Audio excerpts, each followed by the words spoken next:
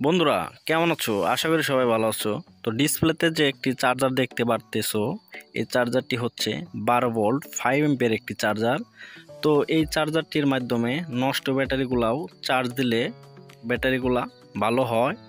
তো এই চার্জারটি কীভাবে বানাতে হয় সেটি তোমাদের দেখাবো। তো তার আগে বলে নেই, যারা এখনও চ্যানেলটিতে সাবস্ক্রাইব করে নাই, অবশ্যই সাবস্ক্রাইব করবে।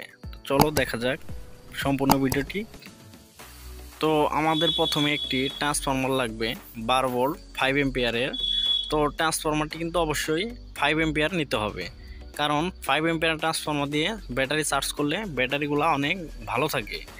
আর লাগবে একটি ক্যাপাসিটার পঁয়ত্রিশ ভোল্ট এবং বাইশশো ইউএফ পঁয়ত্রিশ ভোল্ট এবং বাইশশো ইউএফের একটি ক্যাপাসিটার লাগবে। আর লাগবে আমাদের চারটি ডায়োড তো ডায়োড চারটি অবশ্যই লাগবে। তো এখন আমরা একটি বক্সের ভিতরে লাগিয়ে নিব। তো বক্সটিতে রাখব সেফটির জন্য। বক্সটি অবশ্যই দুই সাইডে দুটো ছিদ্র করে নাটের মাধ্যমে লাগিয়ে নিব সেফটির জন্য।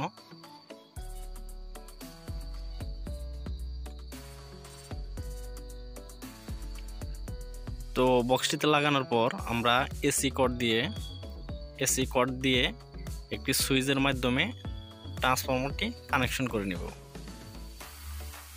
অবশ্যই একটি এসি সাইডে আমরা একটি সুইচ ব্যবহার করব, যাতে করে অন অফ করা যায়।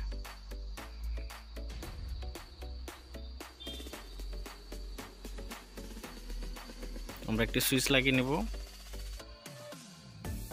সুইচটি লাগানোর পর আমরা ভালোভাবে শোল্ডারিং করে নিব, যাতে কোনো প্রকার লুজ না হয় এবং কি সেফটি রাখতে হবে। কারণ বটির সাথে যাতে কোনোভাবে স্পর্শ না থাকে।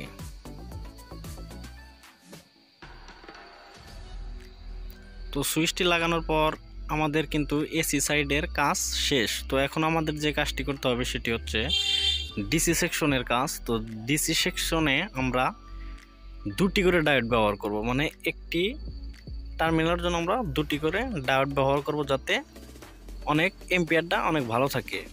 তো আমরা দুটি প্লাস একত্র করব ডায়োডের মানে এই যে ডায়োডের যে সাদা চিহ্ন আছে, এটি হচ্ছে প্লাস তো আমরা দুটি প্লাস একত্র করব এবং কি পরবর্তী যে টার্মিনালটি আছে, সেটি দুটি মাইনাস একত্র করে সরাসরি ক্যাপাসিটারের সাথে কানেকশন করব।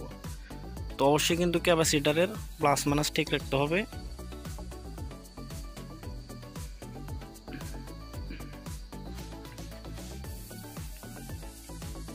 অনেক মজবুতভাবে লাগাতে হবে, যাতে কোনো প্রকার সমস্যা না হতে পারে।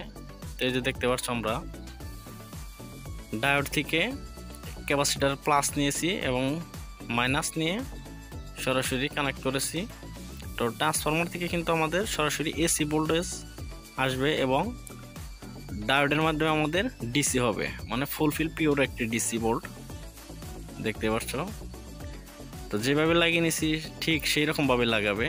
এমনকি বুঝতে কোনো সমস্যা হলে কমেন্টে জানাতে পারো। তো আমাদের কাজ কিন্তু শেষ। তোমরা ভোল্টেজটি চেক করব। তো ভোল্টেজটি চেক করার জন্য আমরা অবশ্যই ডিজিটাল একটি মাল্টিমিটার নিয়ে ভোল্টেজটি টেস্ট করব।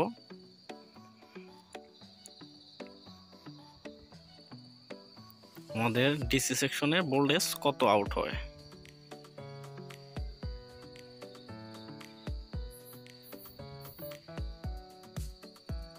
পনেরো ভোল্ট। পনেরো ভোল্ট হলে আমাদের ব্যাটারিটা ফুলফিল চার্জ হবে। কারণ বারো ভোল্ট টু বারো ভোল্ট চার্জ কম হয়। তো ভিডিওটি ভালো লাগলে অবশ্যই লাইক দিবে। আর যারা এখনও সাবস্ক্রাইব করো নাই, অবশ্যই চ্যানেলটিতে একটি সাবস্ক্রাইব করবে। ধন্যবাদ সবাইকে।